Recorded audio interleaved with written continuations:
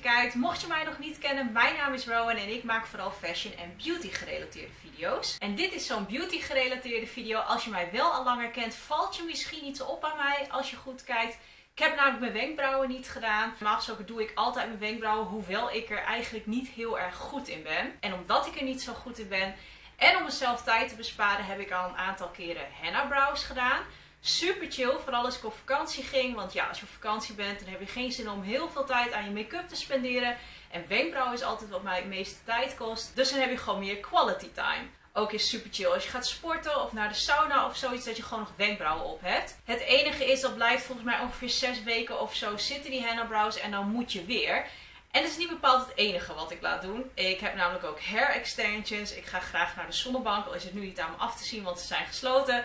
Ik laat ook graag mijn nagels doen. Ook dat is nu niet aan me af te zien, omdat ik er gewoon geen zin in heb, zal ik eerlijk zijn. Daarnaast verf ik mijn haar. Nou ja, zo is er wel meer wat ik aan mezelf laat doen. Dus alle tijdbesparende oplossingen zijn van harte welkom. Een tijdje geleden kwam ik achter het fenomeen microblading. Dat zijn dus wat meer permanentere wenkbrauwen. Het is een soort van tatoeage, maar het ligt volgens mij in de bovenhuid. Waardoor het nou, niet helemaal permanent is, maar wel ongeveer 2,5 jaar kan blijven zitten. Of 2 jaar. Wordt wel altijd geadviseerd om dat vaker te updaten. Om, om het jaar, anderhalf jaar, zoiets geloof ik. Maar goed, ik was uh, intrigued. Dus ik ging op zoek. En ik vond op Instagram Lianne Visagie in Leeuwarden. Dat is mijn woonplaats.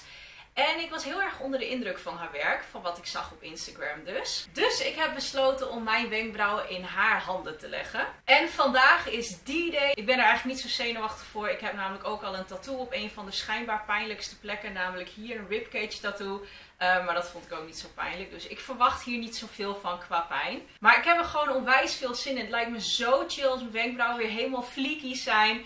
En zodat ook heel erg lang blijven. En ik maak deze introductie natuurlijk niet voor niks, want ik neem jullie mee. Let's go!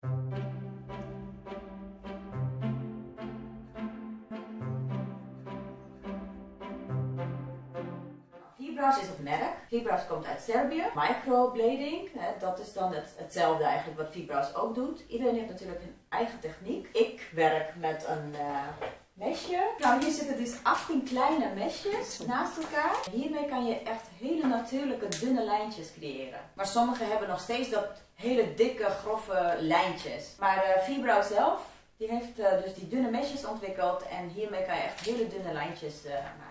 Als je bij Fibro's heeft gestudeerd, dan krijg je niet zomaar een certificaat. Je hebt een certificaat van deelname. Maar achteraf, als je je best hebt gedaan en ze zien dat je de streepjes goed zet, dan krijg je pas een artiestennaam. En dat is dan wanneer je echt aan het werk mag.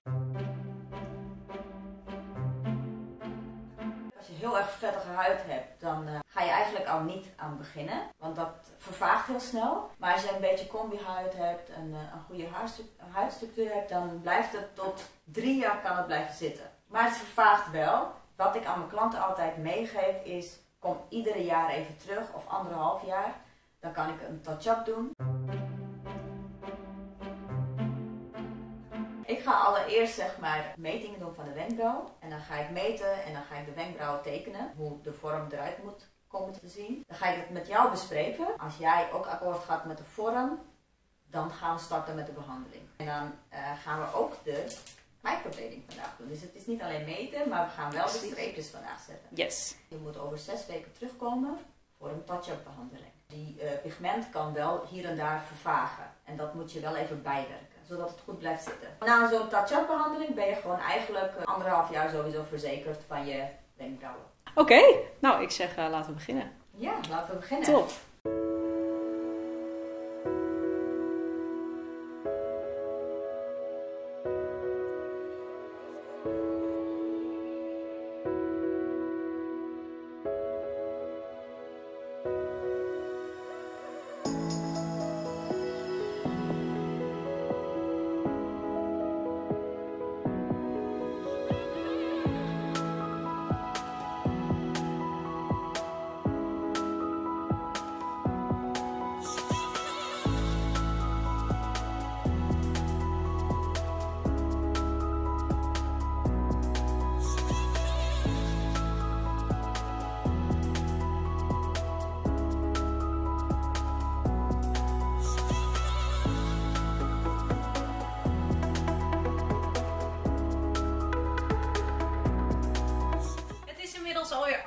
Anderhalve maand geleden sinds ik mijn wenkbrauwen heb gemicroblade. Dat is inclusief touch-up. Er staat namelijk zes weken tijd tussen de eerste en de tweede keer.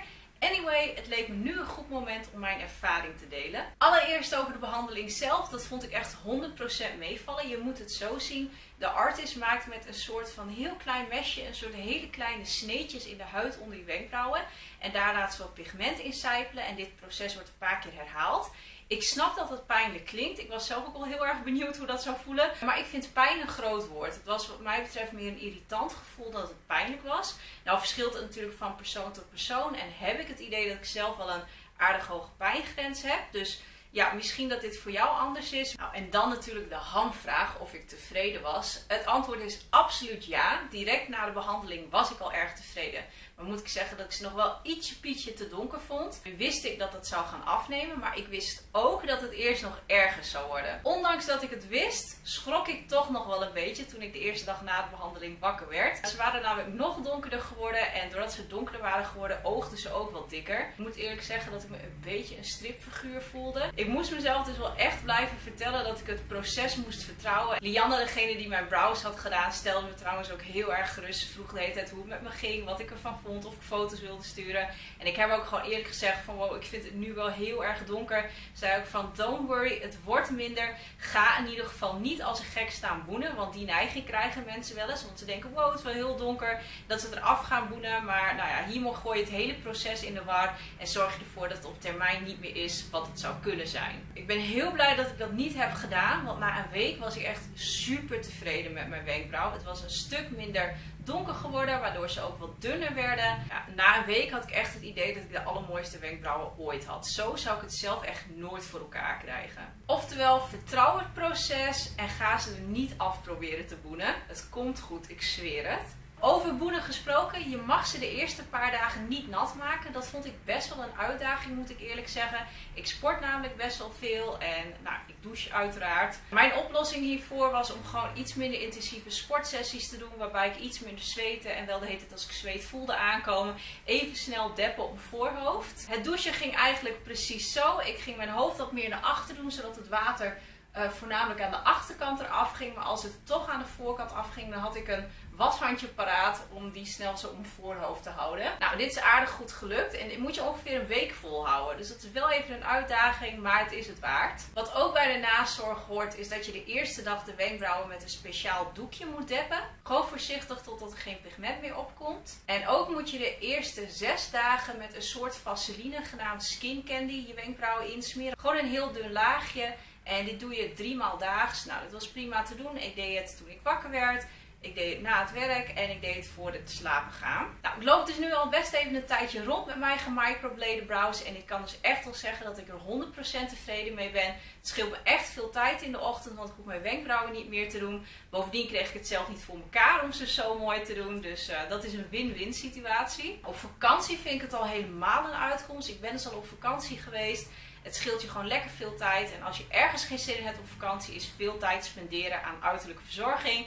Je wil immers zoveel mogelijk tijd spenderen aan lekker cultuur snuiven en op het strand liggen. En bovendien zit ze nog goed nadat je hebt gezwommen. Ook wel handig. Hetzelfde geldt natuurlijk voor als je aan het sporten bent, dan zweet ze er ook niet af. En ik vind het ook ideaal als ik even snel naar de winkel moet, maar geen zin heb om make-up te doen, dan ga ik tenminste niet met een volledig blote billen gezicht naar de winkel.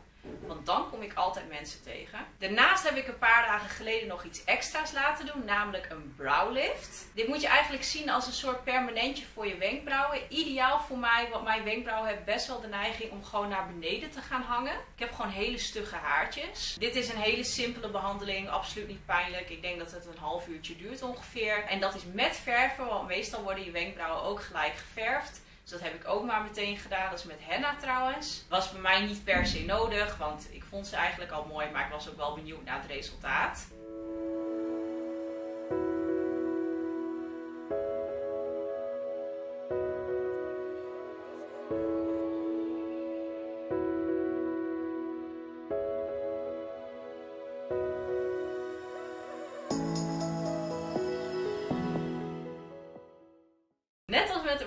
Microbladen vond ik ze eerst te donker, maar dit ging al na de eerste dag weg. En ik ben er nu helemaal tevreden over. Nou, zo'n browlift en die henna, dat blijft ongeveer 6 weken zitten. Dat is dan ook meteen de reden dat ik niet zeker weet of ik het nog een keer zou doen. Ik heb namelijk niet zo zin om elke 6 weken terug te komen. Dus misschien dat ik dat alleen voor speciale gelegenheden ga doen. Want dat vind ik dus juist zo fijn aan het microbladen, dat je gewoon in één keer klaar bent. En gelukkig vind ik mijn brows gewoon alleen gemicroblade ook prachtig. Dus ja, daarmee zijn we aan het einde gekomen van deze video. Ik hoop dat jullie het interessant vonden. Als het zo is, geef dan alsjeblieft eens een duimpje omhoog.